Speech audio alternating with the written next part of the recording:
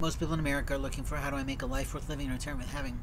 When you can't do that on your own, motherfuckers, you have to be willing to network, but you have to be willing to not be stealing.